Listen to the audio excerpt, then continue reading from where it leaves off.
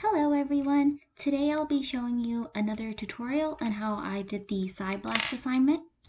So the directions were first review these slides, which I did, and then using E. coli TYR-RS as starting sequence, run a PSI-BLAST. How many blast iterations must you do for you to believe that TYR-RS and TRYP-RS are homologs?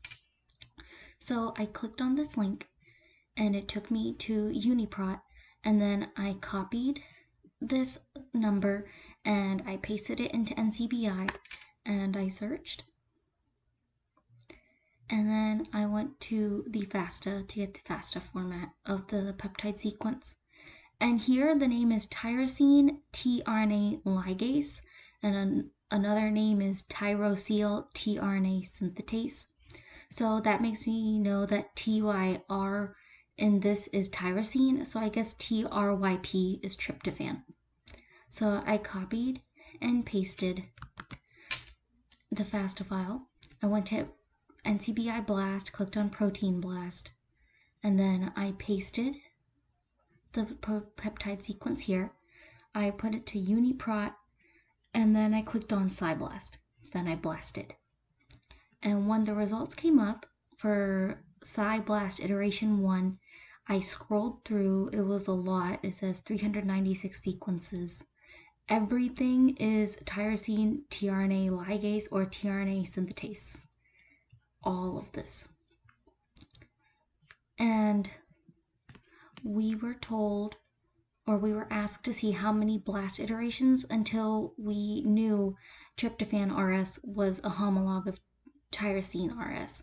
So I ran another iteration and the new results were highlighted in yellow. So when I scroll down, there are some new results, but there are mostly tyrosine and a few tryptophan tRNA ligase, tryptophanyl tRNA synthetase written here. And then below here, when it says it was E values worse than the threshold, there were some tryptophans down here. So I didn't, uh, I thought I should do another iteration to see if those would go into the results. So then I ran another one. For iteration three, I scrolled down and there was a lot more results and this time I saw that there were many of the results were tryptophan, tRNA ligase, tryptophanyl tRNA synthetase. And there was nothing else about worse values being down here. So because the question asked how many blast iterations must you do to believe that they are homologs, I didn't think that meant we needed to keep doing it until the iterations stopped providing new results. So for me, I said that I only need to run three iterations for me to understand that tryptophan RS and tyrosine RS are homologs because there were most of these results were tyrosine and then the other half was tryptophan. And then the other question was use the EBI HMM site to identify which PFAM family E. coli tyrosine RS is part of. Does this confirm your PSI-BLAST results? So I went to the link that it provided, I pasted in the peptide sequence, and I submitted it, and these results came up. I have actually had this page open for almost over an hour now, and this has been loading the entire time. I don't know what's supposed to be here, but it has not come up. So the question asked, identify which PFAM family E. coli TYRS is part of.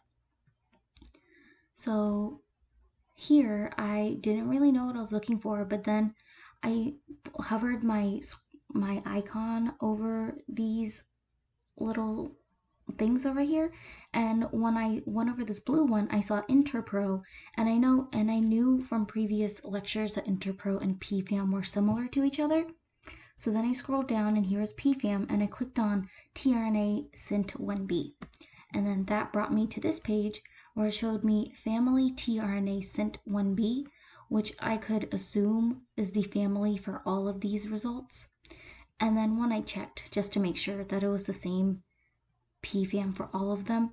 It was right here. So the answer was asking what was the family? It's tRNA synthetase class class 1. Right here. That's what the PFAM family was. And does this confirm your PSI-BLAST results? I believe it does because it was tyrosine tRNA ligase, also known as tyrosyl tRNA synthetase, and it was also tryptophan tRNA ligase 2 or tryptophan tRNA synthetase 2. And in the PFAM here, it's showing tRNA synthetase 1, 1E, 1G, 1F, and then when I clicked on CLAN to see, because CLAN means they share the same domains, there's tRNA synthetase 1, 2, and many, many other ones here that essentially matched what it was for tryptophan here. So I'd assume that they are indeed homologs because they seem to be a part of the same family. And then the next question was go to the PFAM link and determine the structural studies paper. So when I'm at the summary, it says literature references, and the title is Tryptophanyl tRNA synthetase crystal structure reveals an unexpected homology to tyrosyl tRNA synthetase. I think that also further supports the idea that PSI-BLAST showed tyrosine and tryptophan are indeed homologs. So I clicked on the PubMed link and then I copied the PMID because that was the final question right here. I hope that was helpful. If I did anything wrong or if you want to give me any pointers, I'd really appreciate it if you told me. Thank you.